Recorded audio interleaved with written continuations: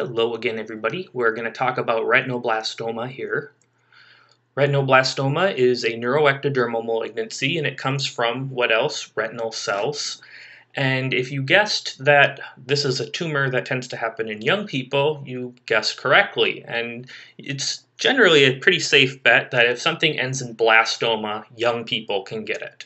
Uh, so this is a small round blue cell tumor of childhood, and other tumors uh, that are small round blue cell tumors of childhood include the neuroblastoma, the hepatoblastoma, Wilms tumor, uh, rhabdomyosarcoma, Ewing sarcoma, and so forth. So uh, this is a tumor of childhood. And as a matter of fact, it's really a tumor of infancy uh, and toddlerhood. Uh, so about five, uh, uh, uh, the median age of diagnosis is about 15 months of age, and 90% of cases are diagnosed before five years of age. So this is these are very young children we're talking about when we are considering retinoblastoma. Retinoblastoma makes up about 2.5% of all childhood cancers from birth to 14 years. Uh, but that number would probably go up if you considered uh, the number of, uh, the percentage of cancers from birth to three or four or five years of age. It occurs in approximately 1 in 15,000 live births in the U.S. Sadly, it accounts for 5% of childhood blindness cases, uh, and so uh, that's something to keep in mind. Uh, diagnosing retinoblastoma is not only important to save the patient's life, but it's also important to save the patient's vision. We want to diagnose this as quickly as we can for both reasons. So we know that retinoblastoma is linked to a very specific mutation, and that is a mutation of the gene that bears its name, the retinoblastoma gene, which is also associated with other cancers, uh, including osteosarcoma. Uh, but uh, this retinoblastoma gene is located on the long arm of chromosome 13. And this bears some importance because retinoblastoma can be heritable, meaning the child is born with a mutation uh, of that gene. Uh, so if a child is born with a germline or with, with a mutation of the retinoblastoma gene, they're considered to have heritable retinoblastoma. If uh, they are not born with a mutation uh, of the retinoblastoma gene, then it's considered non-heritable. We'll look at this in a little bit more detail, though. So there's what's called the two-hit hypothesis, and this can actually apply to other cancers, but it was actually discovered when researching retinoblastoma. The guy's name escapes me right now who came up with this. I think it's Knudson. Uh, but uh, anyhow, so the heritable uh, the heritable form of acquiring retinoblastoma is where the child is born with one retinoblastoma mutation, and then the other is acquired after birth, and that results in a tumor. So about 90% of inherited mutations will develop spontaneously, and 10% of inherited mutations actually come from the parent. So uh, that's important to know because there's a 1 in 10 chance if the kid has a heritable uh, mutation, if, uh, if they have the heritable retinoblastoma, there's a 1 in 10 chance that one of the parents has the retinoblastoma gene and doesn't know, and that's that implicates their other children as well, or children that uh, they may have in the future. Uh, about 60% of the mutations that are heritable are germline mutations, meaning that it affects every cell in the body, not just the cells in the retina. Uh, and that's important because if you have an RB1 mutation that affects every cell in the body, germline, then that's going to put you at risk for uh, other cancers. And we'll talk about that uh, towards the end.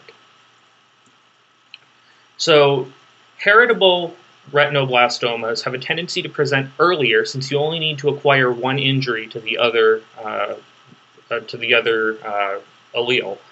Um, and they also have a tendency to be bilateral because if you have that germline mutation, you already have an error allele in the other eye. So you have an error allele in your left eye, error allele in your right eye. It, there, you, it's possible to uh, to have bilaterality. I mean, it is possible with the non-heritable retinoblastoma to have bilaterality, but the chances are much lower because you'd have to acquire uh, four separate injuries, essentially. So the non-heritable retinoblastoma is where the child is born with no uh, RB1 mutations, and both mutations are acquired after birth. So you can imagine why this would have a tendency to present later because you have to get two separate injuries. And uh, this is more likely to be unilateral because you have to affect, you, you remember that a tumor arises from one cell, so you would have to be affecting two, uh, two cells at the same time. So that's less likely that a non-heritable retinoblastoma is going to be bilateral.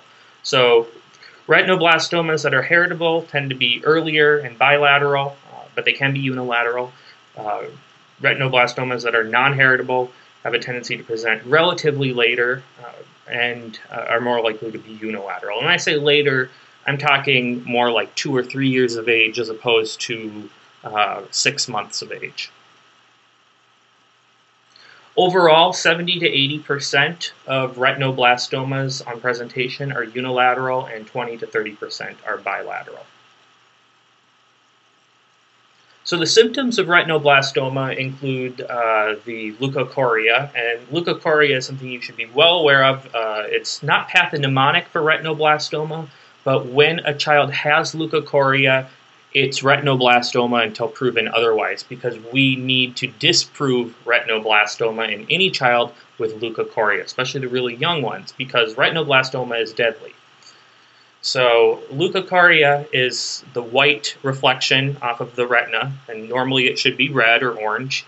Uh, and this can go undiagnosed or unnoticed until, sadly, much too late because parents aren't at home shining lights into their kids' eyes all the time and looking at their retinas.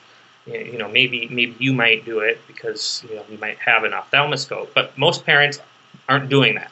So what you might get though is a parent who is observant and you know, taking pictures. You've got a flash, and while everybody else has red eyes, because remember that's just the flash bouncing off your retina the baby has a white eye and a red eye, or maybe two white eyes. And that white, uh, white eye is the leukocoria. So the parent might notice it, but really this is something that usually will be noticed in the clinic. Strabismus can also uh, present. Um, it's a little less common. Only about one in five children with retinoblastomas will have strabismus, and that's just due to the fact that this is affecting vision.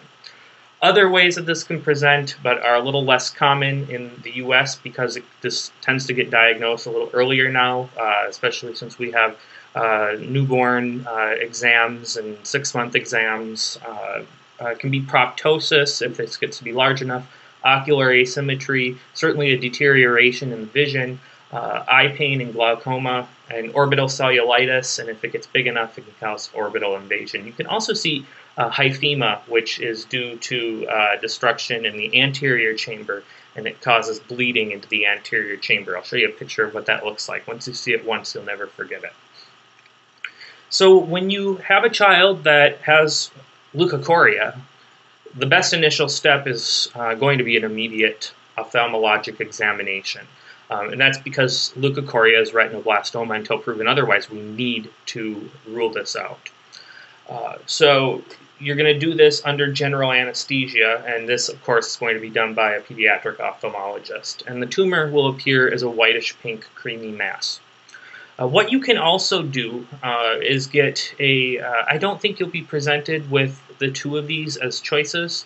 Um, you can also get a, a, CT or MRI. Usually MRI is preferred because it doesn't expose, expose the child to as much ionizing radiation.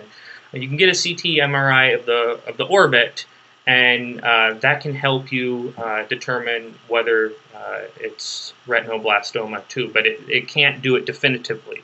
So uh, you'll want to get a CT uh, or MRI, usually an MRI, uh, for the reasons stated, um, and that can help you see if there's any kind of tumor-like process there. And sometimes the ophthalmologist may want that before doing the ophthalmologic examination, but that examination needs to be done. So uh, I guess as far as initial step, you may go with an MRI first and then send them off to ophthalmology. But I wanted to underline that the fact that this is an examination that needs to be done in a child with leukocoria. Okay, so once, uh, uh what, what are you going to look for on the MRI? You're going to look for extraocular extension, uh, infiltration, uh, and particularly invasion of the optic nerve. So those are some things that uh, will point towards uh, retinoblastoma, especially if there's calcifications in the eye. Intraocular calcifications are practically pathognomonic for retinoblastoma. So if you diagnose the child with retinoblastoma, or the ophthalmologist has, uh, then you're going to get bilateral bone marrow biopsies and a CSF cytology, and this is uh, to uh, this is done for prognostication purposes. So if there are retinoblastoma cancer cells in the bone marrow or in the CSF, that is a really grim prognosticator. So that's bad news. What we're not going to do uh, is a biopsy of the tumor. So usually when you think it might be cancer, you think, okay, I got to get a biopsy, but that's not here. Uh, biopsy of the tumor is not performed because there's a risk of seeding the vitreous, and that can make things worse and uh, increase the risk of spreading. So biopsy of the tumor not performed. This is uh, diagnosed uh, by the ophthalmologist uh, on examination with imaging as collaborating evidence. Okay, so here's leukocoria. You've probably seen this before.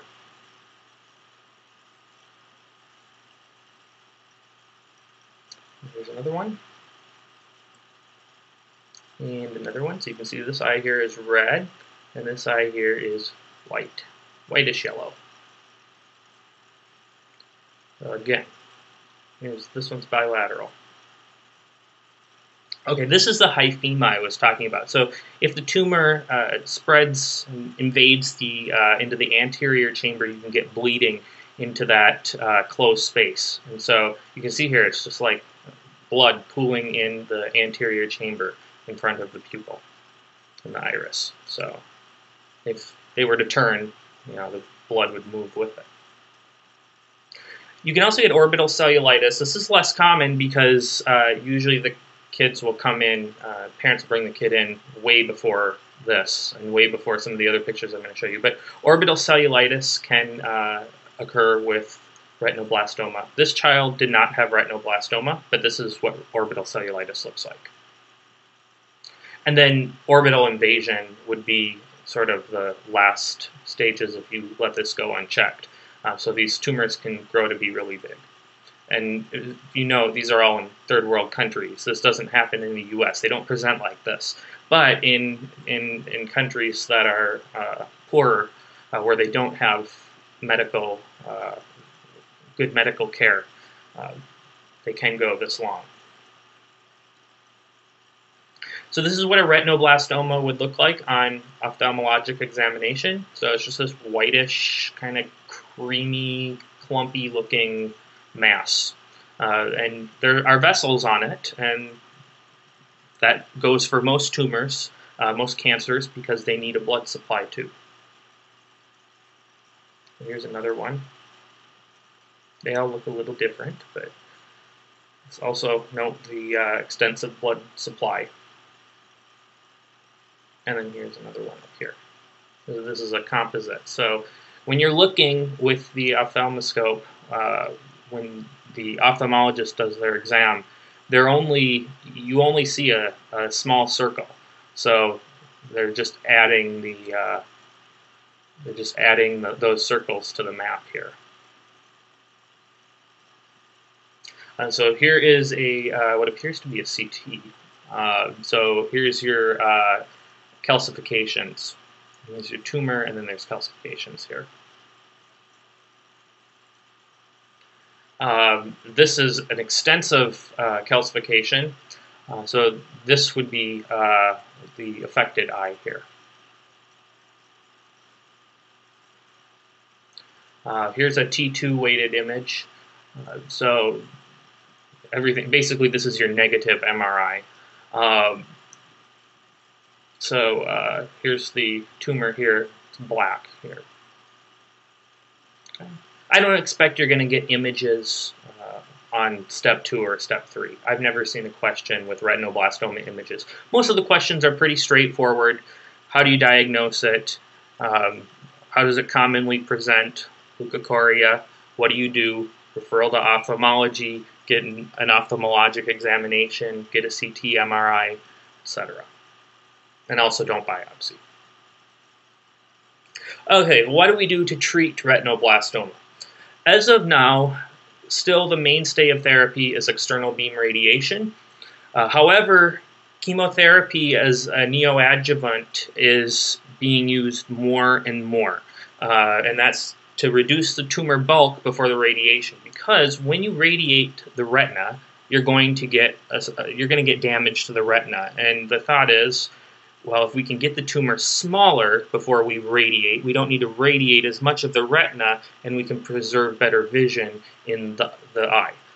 Uh, so chemotherapy before radiation is being done more and more, but still, the answer on the USMLE for treatment is external beam radiation for retinoblastoma. If there is metastatic disease, then you're going to do chemotherapy no matter what.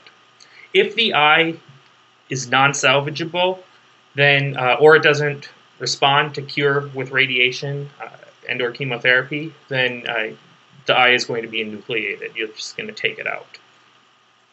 The five-year survival is pretty good if it's diagnosed early, and it's miserable if it's metastasized. So the five-year survival is greater than 90% if the tumor is confined to the orbit.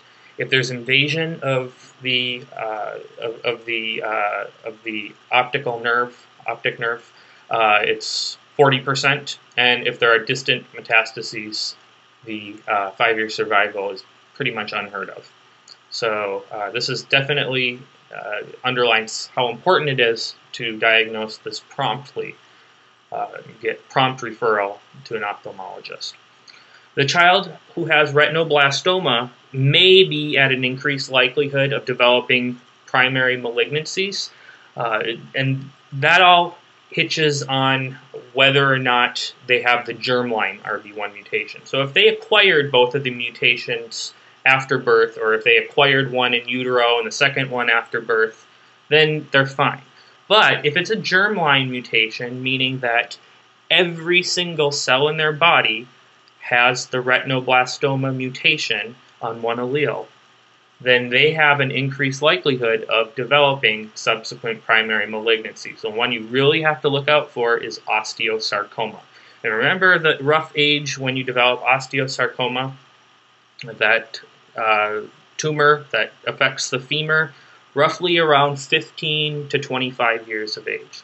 So that's something uh, that they should be well aware of. There's genetic testing that can be done for all children who have retinoblastoma to determine whether or not it's a germline mutation, uh, and that can be performed on family members to see if they carry it as well. And so genetic counseling is also something to include in the treatment of the child with retinoblastoma but external beam radiation. So all the rest of this is just uh, peripheral information. Uh, if you have any questions, feel free to comment below.